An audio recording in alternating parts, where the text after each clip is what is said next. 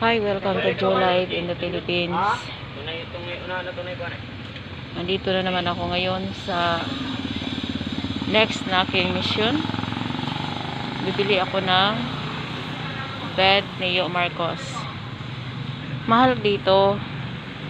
Mas mahal dito kaysa Hitafe. Ang Hitafe din mahal pero mas mahal dito. Pero sige lang kay ganyan talaga ang business.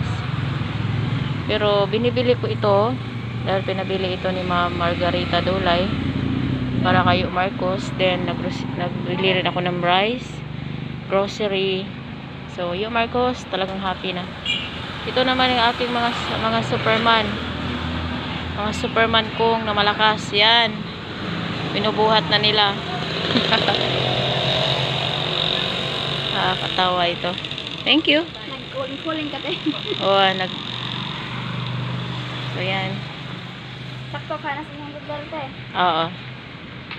Sige. Yan.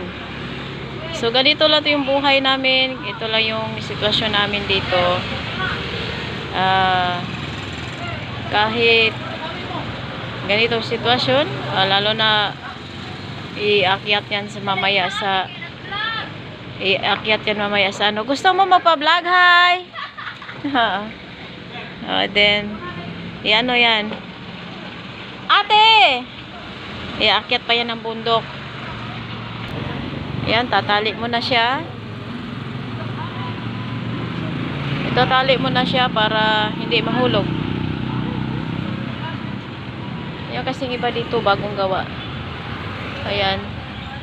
So, ang gilid dito sa kabila is cemetery. Ito naman suki ko dito. So, ibig sabihin nan, kung mag magkural ta, kini, kauban ni siya. Ni matibay. Mo ni. Ah, okay. So, ito yung sa-sa na mga ano, dingding. Tsaka yan, may nigo sa taas. Ito yan, mga kawayan.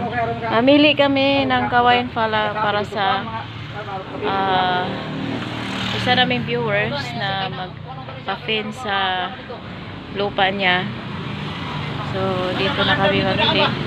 Pa-reserve na lang kami.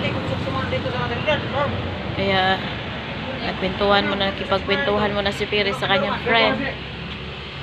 At yan, ang ganda ng, ito yun. Mahal ito dito sa Talibon. So yun, tricycle.